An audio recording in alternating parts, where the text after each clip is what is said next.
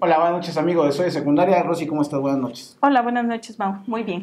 Pues hoy estamos grabando el día 21 de julio del 2015, es martes, y pues tenemos una noticia que el día de ayer fue sorpresiva, que prácticamente nadie se lo esperaba, Exacto. y de repente aparece el gobernador Gavino Cue. ¿Y qué sucedió, Rosy?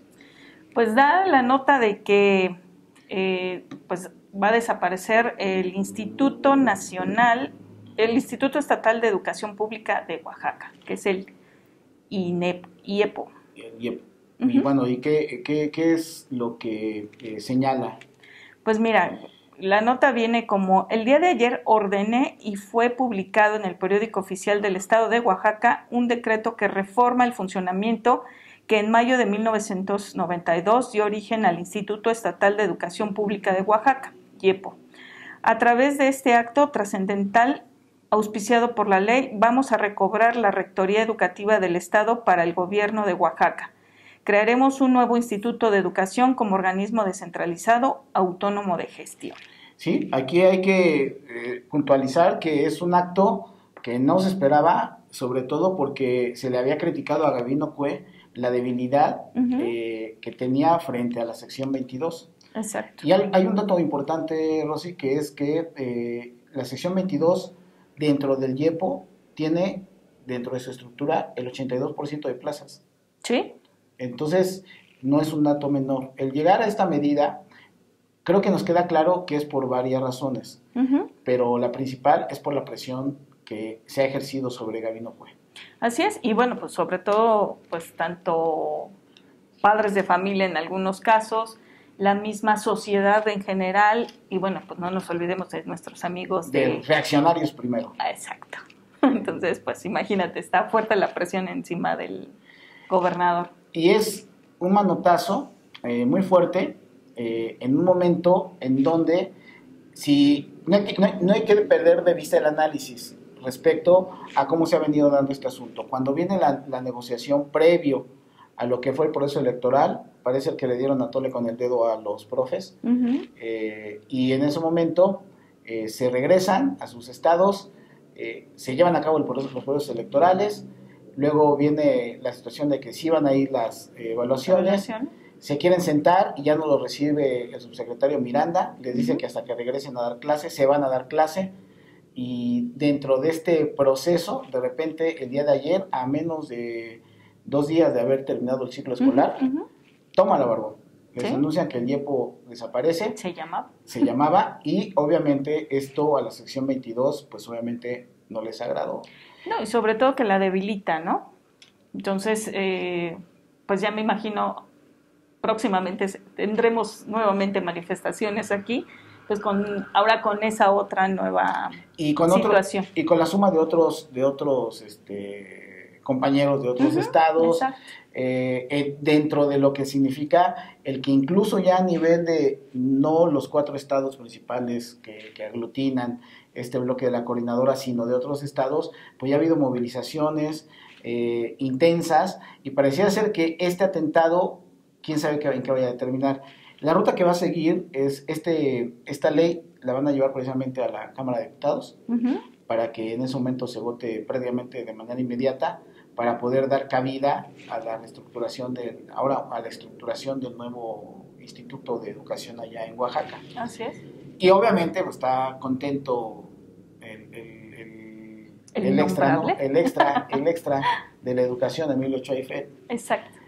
creyendo que con eso van a poder implementar A eh, fuerza. a fuerza la reforma educativa y las evaluaciones, cuando hay un problema que este fin de semana, Rosy, sucedió. Que es la presentación de exámenes de maestros que aspiran a tener plazas de en la materia de inglés, en donde en, la, en una de las instituciones más sólidas que tienen laboratorios de lenguas, este, pues fracasó el examen de manera parcial porque no, no escuchaban las preguntas, no funcionó Sí, el, equipo como debería de funcionar. se tardaron más, obviamente no pudieron los profes responder todo lo que tenían que responder porque les acortaron el tiempo del examen, en fin, lo increíble es que eh, el Instituto de Evaluación Educativa es una acción que debería salir prácticamente limpiecita.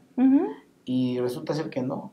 O sea que se está complicando por cuestiones técnicas, porque les boicotean, porque no les permiten a los profes presentar el examen, pero esto no ha llevado un proceso eh, adecuado, ¿no? Exacto. Y bueno, sigue siendo por la presión precisamente de, pues por un, por un lado de la sociedad de mexicanos primero y de muchos otros intereses que seguramente están ahí eh, detrás. detrás de toda esta situación. Porque bueno, vamos a suponer, eh, a sabiendas, en este caso Emilio Chauvifet, de que no cuenta con la estructura para poder generar los exámenes, pues definitivamente no es que la haya, haya solicitado la, la, suspensión definitiva, simple y sencillamente hubiera salido y hubiera dicho, ¿saben qué? De momento lo tenemos este, en stand-by porque pues no contamos con la infraestructura adecuada para poder hacer las evaluaciones, a estar haciendo todo este tipo de pues, parches, ¿no? Sí, está muy, está muy complicado. Incluso ya salió el resultado de la profesora con mayor evaluación. eh, en Reynosa. En Reynosa, Tamaulipas y ella lo que planteó en una entrevista que le hacen, eh, ¿qué fue lo que dijo en síntesis? Pues en síntesis es que ellos no están eh, en desacuerdo que los evalúen. Sin embargo, pues bueno, que sea una evaluación adecuada con la, con la infraestructura idónea pues para poder hacerlo, ¿no? Y estamos hablando de la maestra mejor evaluada de todos los procesos que hasta este momento se han implementado. Y ahí está puesto, pues la situación es de que si ella fue a presentar el examen es porque está de acuerdo con la evaluación. Exacto. Pero lo que también es una crítica de lo que estamos comentando. Entonces, pues veremos eh, de qué le va la cosa a, a Gabino Cue. Él en este momento, qué va a suceder, cómo se va a poner la situación con la gente. En términos generales, seguramente tendrán su plan de acción, porque además los agarran en, en pleno proceso de vacacional. Sí. Entonces, eh, quién sabe en qué vaya a, concluir todo esto, pero la información va hasta ahí.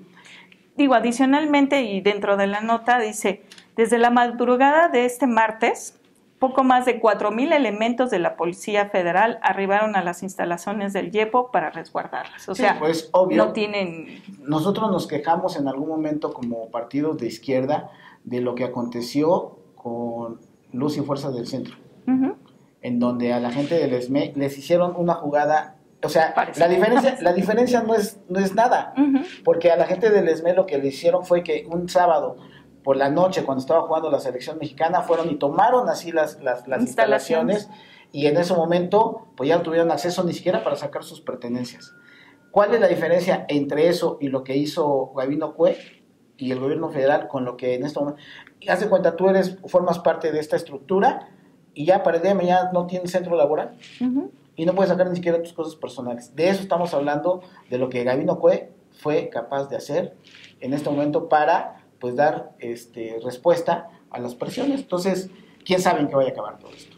Porque no creo que acabe muy bien. No, porque además ahorita está la, la, la, la allá en Oaxaca. En fin, está, está complicado y bueno, eh, quizá ya le midieron al agua los camotes el gobierno federal este, con la situación de que, bueno, finalmente en el proceso electoral fue puro bluff aparentemente de los profes y a lo mejor dicen, pues ya, con esto nos queda claro de que el gobierno puede ir contra de ellos y vamos tendidos.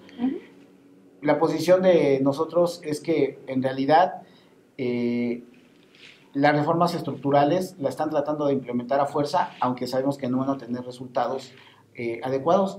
Bueno, ese es el tipo de gobierno que la gente votó por él Ojalá y ahora reflexionen respecto a esta situación, porque el gremio de la docencia, más de un millón y medio, pues quién sabe si, si finalmente terminen por compactarse para evitar lo que viene, ¿no? Exacto, que es verdaderamente triste, porque pues así nunca vamos a progresar como país en la parte de la educación, ¿no? y de ahí, de todo lo demás. Sí, porque lejos de llegar a, a, un diálogo y a un acuerdo, pues lo que se hace es implementar las acciones a base de la fuerza. Y bueno, pues en este caso a Gabino Cue pues habrá que pedirles cuentas en su momento, porque lo que se votó fue precisamente por un gobierno progresista y parece ser que está dándole la espalda a, la gente. Entonces, pues veremos de qué va la cosa. Así es. Pues Rosy.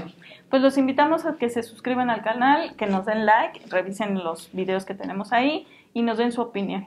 Así es. Así que bueno, pues nos escuchamos y nos vemos la próxima semana.